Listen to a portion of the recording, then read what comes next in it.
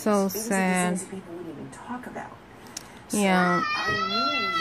I did the breast cancer walk in 2012. Actually did the whole walk.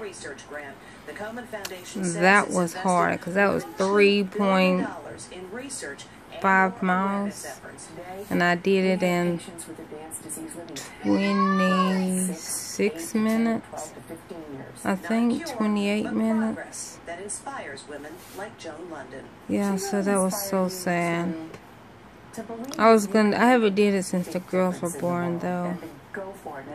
But I mean, I will do it again. It was an achievement for me because I did it to prove that I could after losing 150 pounds. And I did. Did in like, I'm gonna say 28 minutes. But it might have been less than that. I did it with my other weight loss friends. Ooh, I should post pictures of it.